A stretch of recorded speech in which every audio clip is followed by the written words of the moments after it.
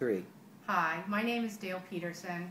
I've been a customer of Syed Sarmad at Advantage Vacations for the last couple of years.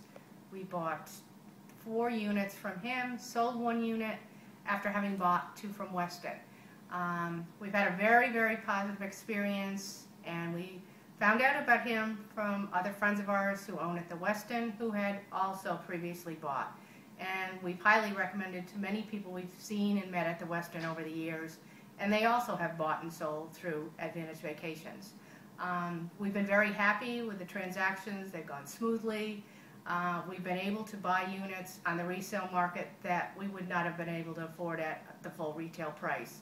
And we actually had two annual units.